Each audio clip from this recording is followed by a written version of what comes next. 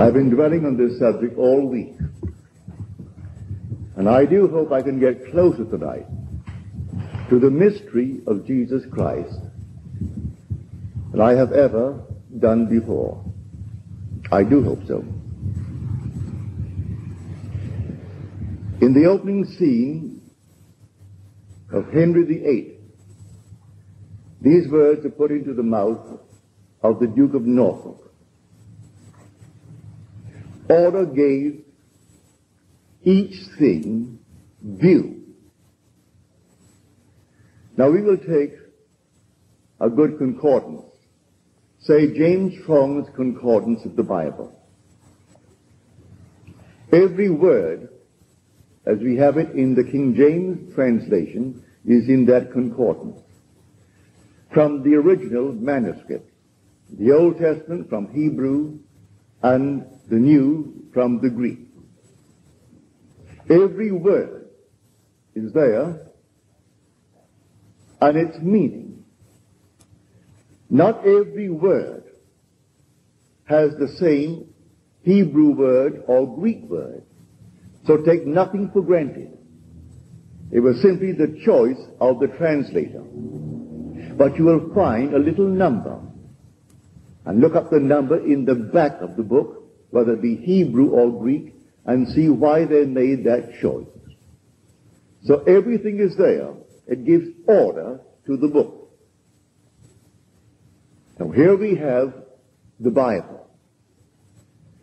The Old Testament, 39 books. And that is the root of the entire Bible. Without an Old Testament, there would be no New. The New is only the fulfillment, the expression of that Old. What is that oath? There is a promise in it, a promise to man. The Old Testament is a prophetic blueprint of the life of Jesus Christ. But who is Jesus Christ? Just who is he? That question is asked in the book of John. Who are you? And he answered, even what I have told you from the beginning. Is this a man speaking to one who is asking a question? He is the mystery. He is the secret of Scripture. From the beginning means it was given to you in your Scripture from the very beginning. And I am He, the very one who was from the beginning even from the beginning. Well, now who is he? If you receive a letter, all right, a letter conveys a certain message. A dream conveys a certain message. There's a single jet of truth in a vision, in a dream. There is a single jet of truth in those 39 books.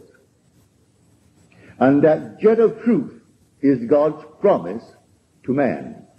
That promise is the Lord Jesus Christ. That is what is contained, but hidden in the Old Testament. That is what must be resurrected. It's buried there. You do not resurrect it by being very, very wise and studying the words. It doesn't come that way. There is a pattern in that book where although the words of the 39 are gathered over the centuries, for it took centuries to accumulate the 39 books, they still form one book. It's all one book. And although hundreds of years passed before we had the one book, it contains that central jet of truth.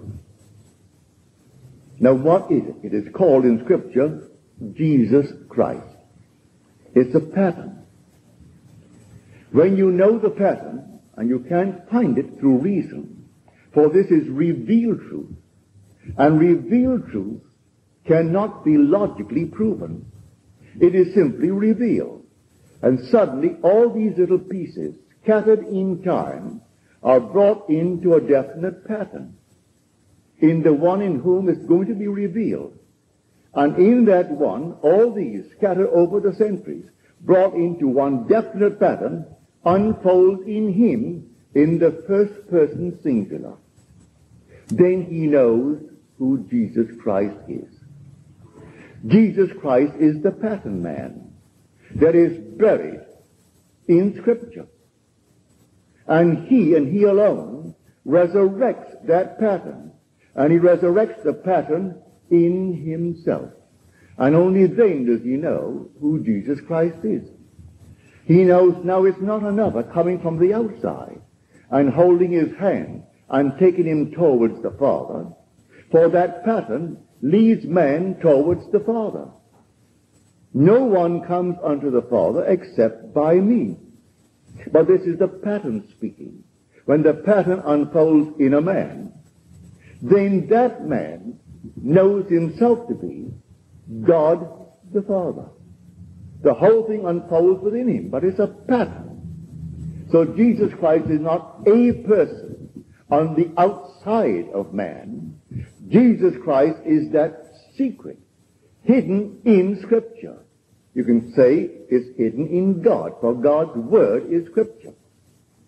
And being buried in Scripture, then man suddenly, in the fullness of time, the pattern collects itself.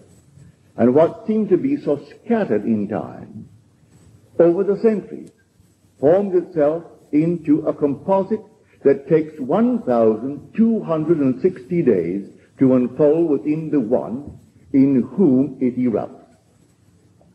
As told in Scripture, it is sealed.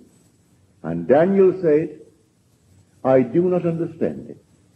And he said, seal the book, Daniel, until the time of the end. It will take a time, times, and half a time. A year plus two years and a half a year. Three and a half years or 1,260 days. That's what it will take. For the Hebraic year is 360 days. As told us then in Revelations in the 12th chapter, the great mystery of the birth of the heavenly woman took 1,260 days. So the, the entire pattern gathers itself together. and you in whom it unfolds realizes the secret of Scripture, and you are the secret. It's buried in Scripture, but you are that. So in the volume of the book, it is written about me. But who is speaking? But it is said that the prophet spoke. And then in the New Testament, it is quoted as though it is said of the Lord Jesus Christ. Well, it is the Lord Jesus Christ. For he is the secret of Scripture. He is buried in Scripture. And so we are told in Hebrews, of whom was it said? In the volume of the book, it is all about me. Well, it didn't occur to me for one moment, born in the 20th century, that anything written prior to my own little birth here was related to me, save what they said of my earthly father, or my earthly mother, or grandparents but certainly not anything said away back in time. Could I ever for one moment believe that what was written in the 39 books of the Old Testament, where they take 4,000 years of the history of Israel, and then they take 300 odd years of the prophets, writing of that scripture, writing of the history, then they come into the prophecy for Israel and tell me in the 20th century that in any way it was related to me. How could it be? and yet it happened in me. The entire pattern gathered itself together in me, and in 1,260 days it unfolded in me. and here I am now, fully conscious of the fact that I am the father of David. The David mentioned in those 39 books. I am fully conscious of the fact that it was of me that Moses wrote when he spoke of the fiery serpent rising up upon the, the great staff. It was of me that they wrote when that dove returned to the ark. And then Noah stretched out his hand, pardon me, and took him into the ark, that I am that ark, containing all things. All things are contained within me. And I am all imagination. And all things are contained within my imagination. So the ark contains all. I had no idea it was all about me. So having resurrected that pattern, I long to transmit it and to tell it to everyone in the world. For it must be for this reason that I was sent to experience the resurrection of that pattern. so I tell you who Jesus Christ really is.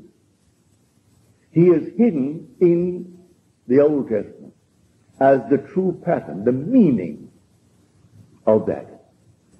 He is the direct and deliberate self-revelation of God the Father in the context of human life. He is the meaning of life. Without that, life has no meaning. So here's the context, here's the actual meaning of why we are here. So we go through hell in this world. And let no one tell you that we do not. No matter how you are born in this world with all the silver spoons and the golden plate, you will go through hell. You will suffer pain. You will know want. You will know concupiscence. You will know all the things that the body is heir to. For you took upon yourself this body. And you experience all the things related to this world. But one day, the essence of it all, called in scripture Jesus Christ, the promise of God, you are going to experience. And you will experience it in the fullness. It'll take you 1,260 days for that pattern that took hundreds of years to be gathered together. It will suddenly, all the related parts related to the promise will be actually gathered together. And then the promise will unfold within you.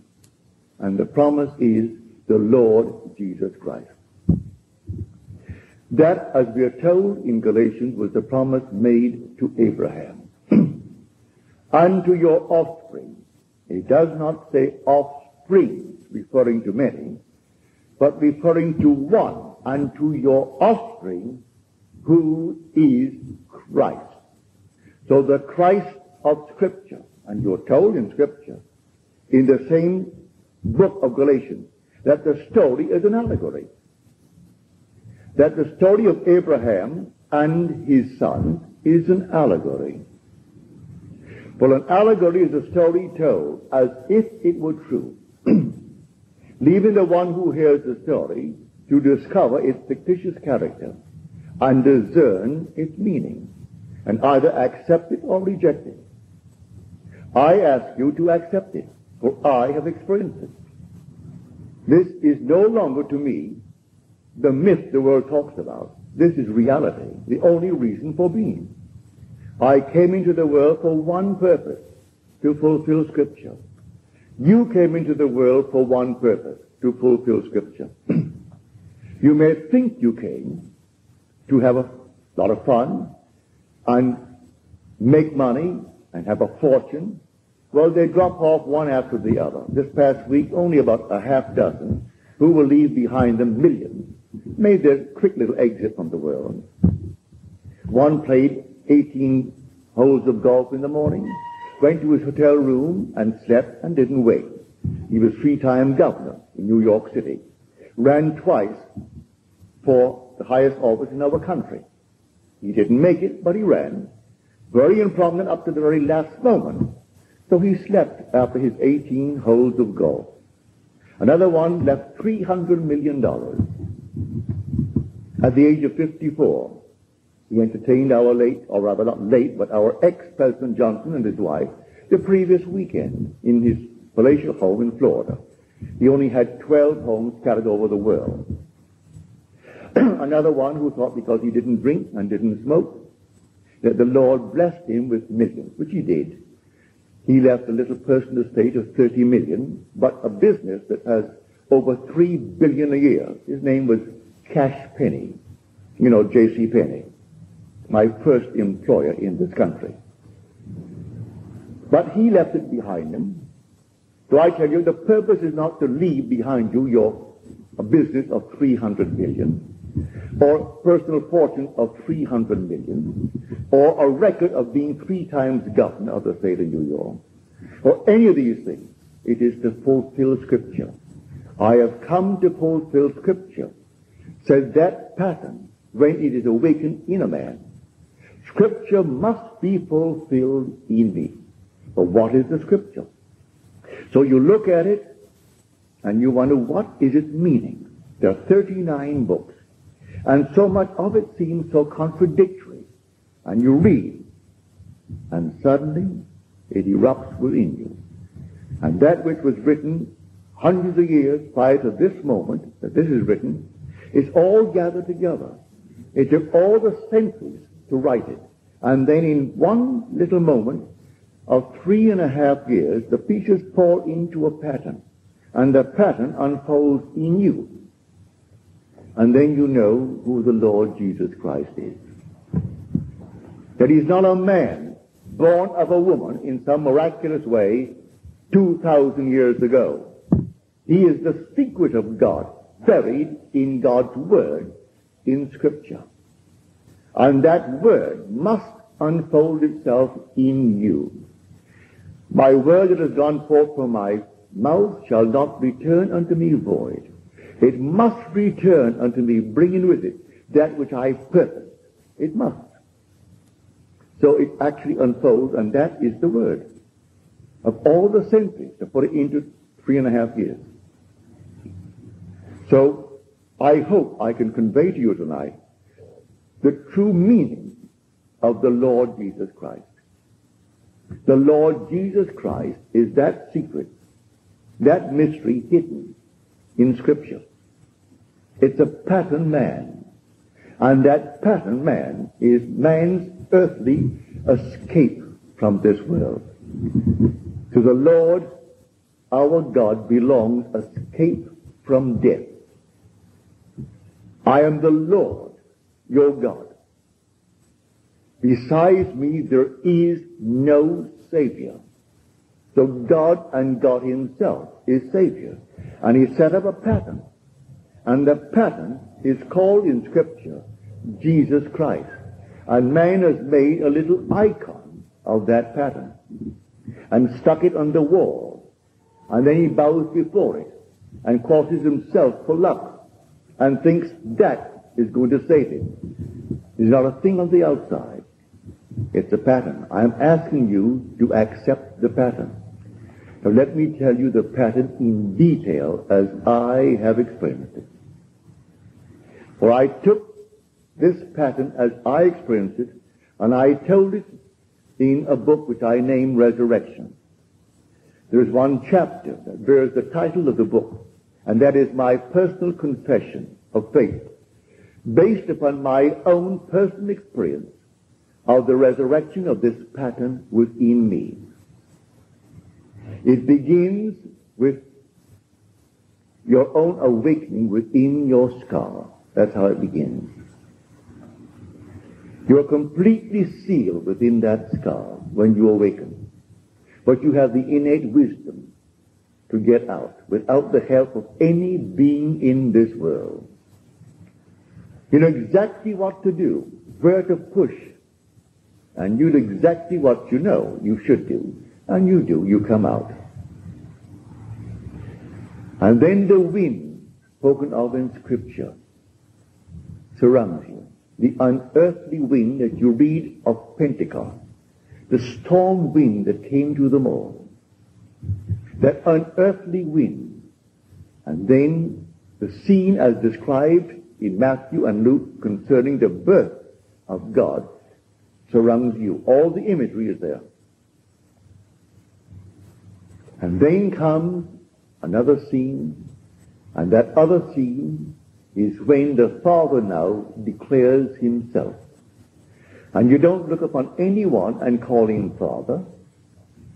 But the Father's Son stands before you and call you Father.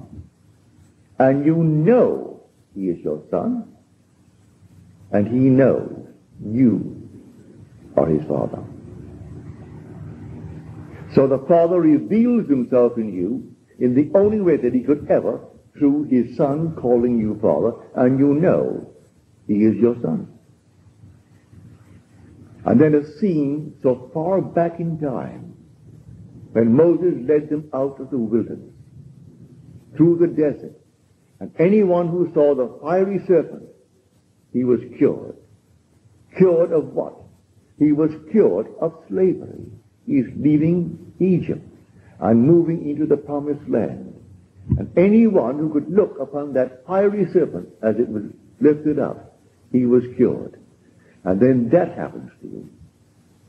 And you realize what it means now to have that entire thing take place within you. You are that fiery serpent that rises within yourself into the heavenly spheres. And when you get there, it reverberates. And now you know what it is to have the dove descend and remain upon you and smother you with love. For here he floats above you. Actually floats, as you're told in the story of the flood. Here is a flood, and the dove returns. And when you look up and you see him, he's simply floating because he doesn't move a wing. He makes no effort to remain above you. He simply floats. But the water is crystal clear. So you see him floating. And then you extend your hand as if to say, no, it is.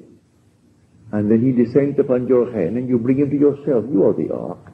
You contain all things. For all things exist within the human imagination. And he comes down and he simply remains upon you and he smothers you with love. In those three and a half years, these four majestic, fantastic supernatural events take place. And that's the essence of the Bible. It took centuries to bring it into this being, into this world, and record it. Here they're recording a most violent history of the Israel, of the people of Israel. And then comes the prophets, bringing the promise. And here comes the promise. But no one understood it. And Daniel confessed, I do not understand it. I heard, but I did not understand. And he who stood clothed in the linen clothes, he said to me, seal the book until the end. You can't break the seal now, but one will come. He is the Lamb of God. And when he comes, he'll break the seal. In the fullness of time, the whole thing will break.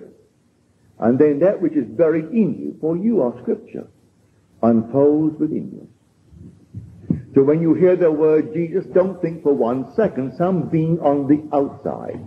Jesus Christ is a pattern of salvation, buried in you. And in the fullness of time, you are going to experience that pattern. And the whole thing will awake within you. Let those who insist on having a personal Jesus on the outside have him. It's perfectly all right. If they insist on it, let them have him. And so many still insist on having some little personal God on the outside.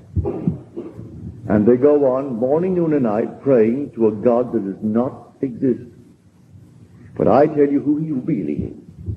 He is a pattern, a pattern man, buried, and you can't see him no matter how erudite you are. You can study scripture from now to the end of time and you can't find him there. Yet he tells you, you search the scriptures. Because you think in them you have life. And he tells you, I am life eternal. I am the way, the truth, and the life. But you can't find me there. but you search, keep on searching the scriptures. And they search morning, noon, and night as they think they're serving God. Now let me tell you a vision of my wife that happened years ago. She found herself in the clearing of a lovely grove of trees. At the end of the clearing was a man behind a table. And there were men around this one man, like an assembly. And then two women entered. Each carried a book. And one had a book, and the title of the book was The Credence of Belief and the Forgiveness of Sins, according to Judaism. The other entered from the other side, and the title was The Credence of Belief and the Forgiveness of Sins, according to Christianity. And both went up towards the man at that table, and each read from the book. And she said, as I heard the reading, I was struck. I stood there dumbfounded, because until that moment, I always thought it was so infinitely more difficult to be a Jew than to be a Christian. And suddenly, as they read from the book, I realized how much more difficult it was to be a Christian than to be a Jew. One was keeping the external observations of law. That if I abided by the dietary rules, if I abided by all the external worship, that was perfect, no matter what I did personally. And the other, if I abided from within, well, I do not know very many Christians who really live the Christian life. They think going to church on Sunday morning, or saying Mass, or doing all these outer things, that that is all right. Yet is, that is not Christianity. That I have come not to abolish the law and the prophets, I have come not to abolish them, but to fulfill them. He reinterprets the law in the light of his own experience of law, and makes the whole thing imaginable. You have heard it said, you shall not commit adultery. But I tell you that anyone who looks lustfully on a woman has already committed the act in his heart. But what man has not violated that act? That law. Well, if that is Christianity, it's infinitely more difficult to be a Christian than to be a Jew if a Jew means restraining the impulse. So I didn't do it, but I had the desire to do it. Well, the desire to do it in the Christian concept was, was doing. Therefore, the desire a man's money. But I restrained the impulse. Therefore, I didn't do it in the Jewish faith. But in the Christian faith, if I desire, if I coveted what he had, I did it. Well, how much more difficult it is to be a Christian. I have to live by that golden rule and do unto others as I would have them do unto me, but do it inwardly, not by restraining the impulse, not even having the impulse, not even in dreams. So she heard these two women read from the book, and the book had the same title, only with this difference, according to Judaism, according to Christianity. And so according to Judaism, if I restrained the impulse, that was all right. I didn't do it. According to uh, Christianity, restraining the impulse wasn't good enough. The impulse was the act. For we're living, or rather living, in a world of imagination. And the imaginal act is fact. And it's not receding into the past. It's advancing into the future. And it's going to confront me. And so I accept the Christian faith. But now what a challenge. Now I tell you what you're going to actually experience one day. You're going to experience what I have told you tonight who Jesus Christ really is. He's not on the outside. He's talking from that book, the Old Testament. He is trying to be born. He is trying to be resurrected. He is in the Old Testament. They're looking for a Messiah to come from the outside and save a nation. He doesn't come from the outside. He is buried in those 39 books. And that whole book is buried in us. And therefore he rises in us and when we experience his resurrection, it is always in the first person singular. He rises in me, and I am he. So we are told you will die in your sins unless you believe I am he. And so I must read it. Try to find out who is he. Well, I am telling you, you can read it from now to the ends of time, and your great learning will not convince you that that is it. But I am telling you from my own experience who Jesus Christ is. Jesus Christ is the pattern man buried in you. You will find him confirmed in scripture after he awakes in you. When he rises in you, as you, you go back into the Old Testament, for that's where it is, and you will see confirmation. It was all there, but you couldn't see it before. Therefore, you have now the external written witness, and you have the internal living witness. Here you have the outside witness, and then the inside witness having experienced it. Now, if two witnesses agree in testimony, it's conclusive. You have the external witness of Scripture and the internal witness of the Spirit. And having experienced it, you know who you are. You are the Lord Jesus Christ. So having experienced it, having raised that pattern within me, I long to transmit it and to tell it to everyone in the world. And ask everyone who will listen to me to hold fast to that faith. For it is true. Do not deviate. Do not turn to the left or the right. Hold fast and set your hope fully upon this, which is the coming of this pattern unfolding itself within you. May unfold tonight. No one knows when. Let no one tell you they can tell you when. They do not know. It comes like a thief in the night. It comes suddenly. But it must first be preceded by believing. You must first hear the story, and you either accept or reject. if you accept the story, well then, set your hope fully upon this grace that is coming to you as the unveiling of Christ in you, not outside of you.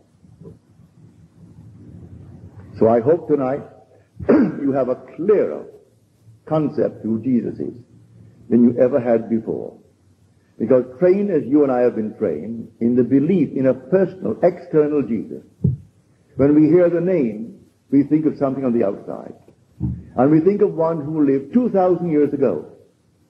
We can't feel that he is contemporary. We can't feel that it's going to erupt in me, and then I will know who he is.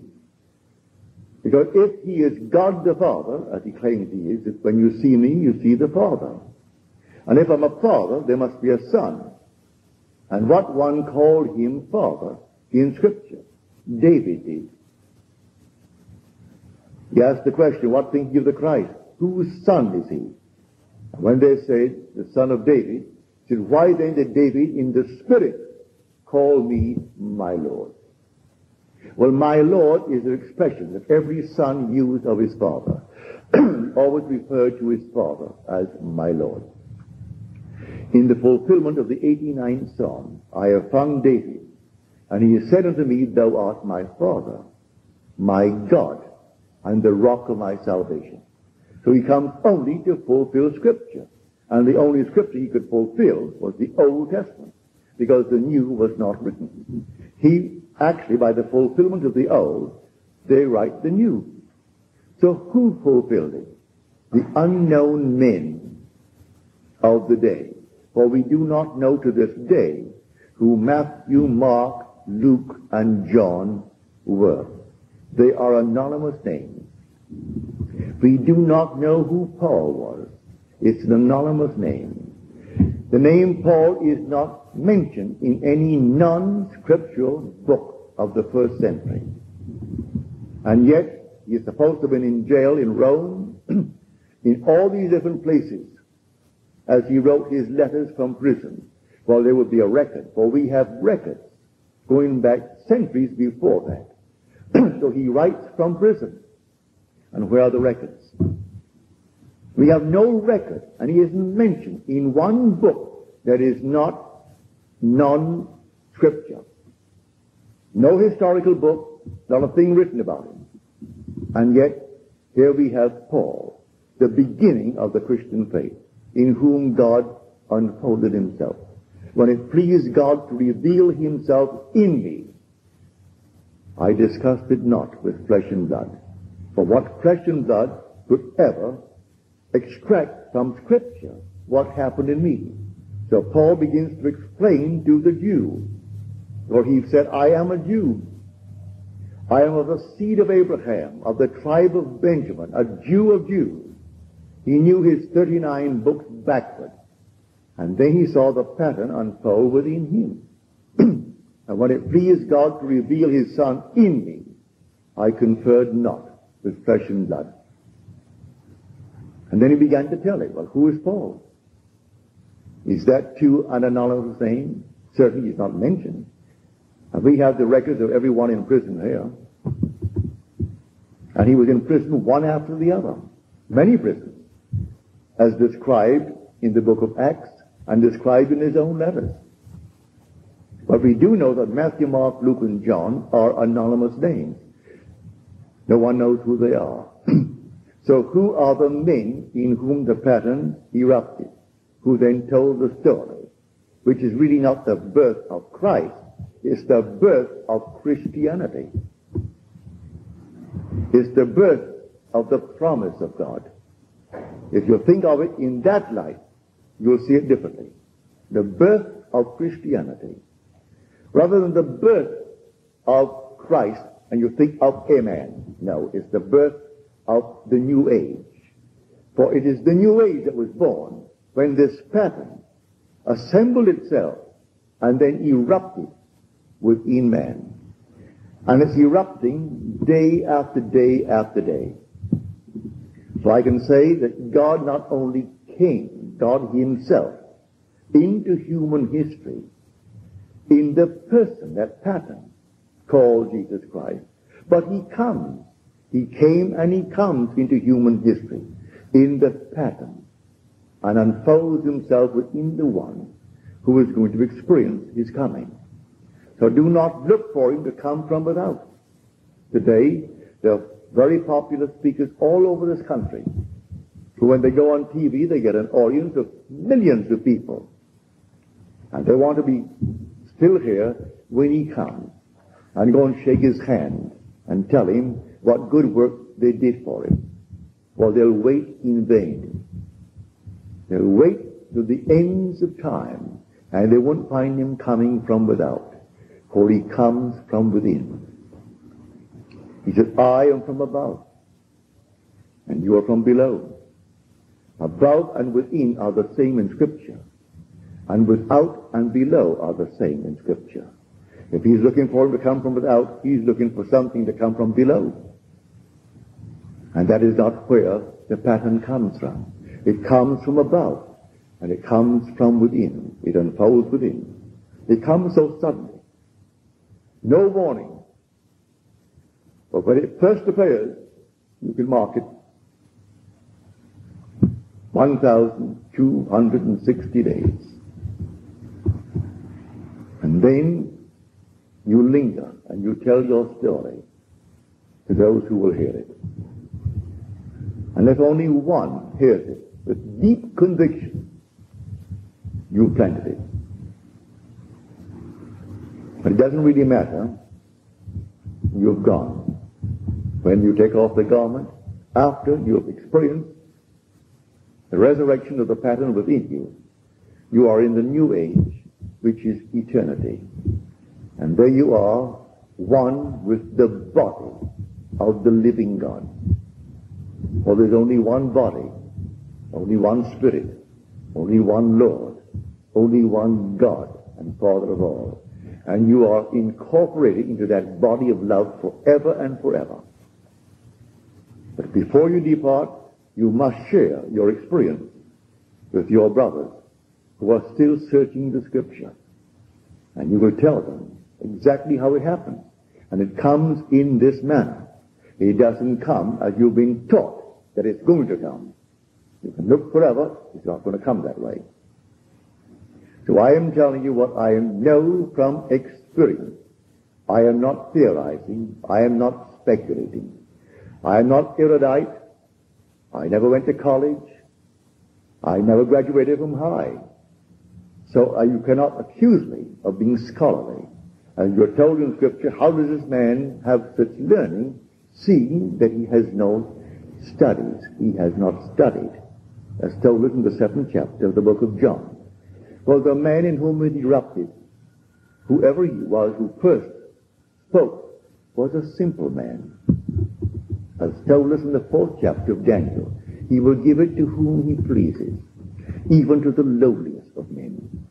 So don't look for him to come among those who are highly exalted and highly promoted by themselves, because all these enormously promoted beings are self-promoted. A man doesn't go out and find others promoting him. He gathers the funds together and he promotes himself. Well, you can call it a political campaign or religious campaign or any other campaign. And they live in that little world of theirs. In this morning's paper, you might have read this. When the Queen was accused of maintaining a certain castle, Sandringham, and someone said it has 360 rooms. He said, oh no, it's just a little hideaway. That's not a castle about it. It's a little hideaway we go. I'm quite sure it doesn't have more than 150 rooms. You see, you get to the point where you live in such a strange place, mentally, that you have no contact with the world of reality. None whatsoever. It's like let them eat cake. Neither have no bread, or let them have cake. And then a few hours later, her head came off. Let them eat cake. Well, here she said, what? Oh no. Certainly it doesn't have more than 150 rooms. When the average person doesn't have one. Well, I tell you, it's far greater, infinitely greater, that you experience the pattern unfolding within you than if you owned the earth. If you owned the whole vast world, and everyone was subject to you to obey your command, you're still mortal and will depart leaving your world. But this you don't depart. You enter eternity, the new age, incorporated into the body of the living God. And you only enter that by the unfolding of this pattern within you. I hope tonight I have brought to you a clearer picture of Jesus Christ than I have ever done before. It's that pattern that is buried in those 39 books which no one by searching could find until it erupted in a man. And he, being familiar with the 39 books, he told them that although it is scattered over the centuries, there is simply a meaning to it all. And the meaning is put into 1,260 days as told us in the 12th chapter of Daniel and the 12th chapter of Revelation. And there the whole meaning is condensed but it takes the scattered fragments from these centuries and put them into a pattern. And together they give meaning. And this meaning now unfolds within you, and you are the promise that God made. He promised you a son. And the son he promised you was his own son to give you not as a companion, but to give you as your son. And if he gave you his son as your son, then he gave you himself. That's how God gives himself to you. Now let us go into the silence.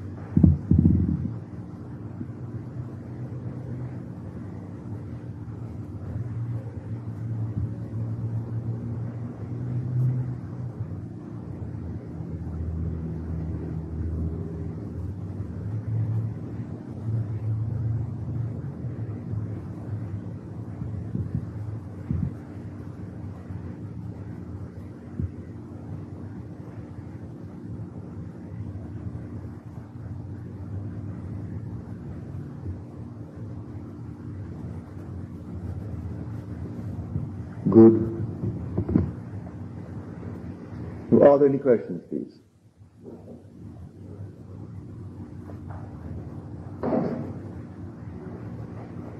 Any questions? Well, may I remind you that we are approaching the day we call Easter, which is resurrection. I'm not trying to sell you a book, but I do not know of any record of the true resurrection that is in print, comparable to my chapter on resurrection, where the book is titled Resurrection. For I have told you the story as I personally have experienced it. Others only talk about it as a being on the outside. And I have told you exactly how it happens.